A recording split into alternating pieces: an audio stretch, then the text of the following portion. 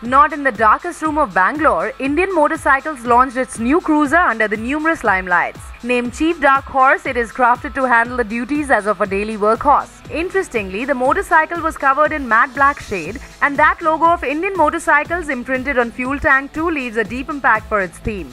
For discharging the duty as a daily horse, this motorcycle of Indian holds various features like ABS, cruise control, and keyless ignition. In the engine bay, burbling power is fed by 1811cc V-twin air-cooled engine, producing enough torque to take on any challenge on the highways. Hence, for a price of almost rupees 22 lakhs, Dark Horse is a justified deal for avid two-wheel riders in India.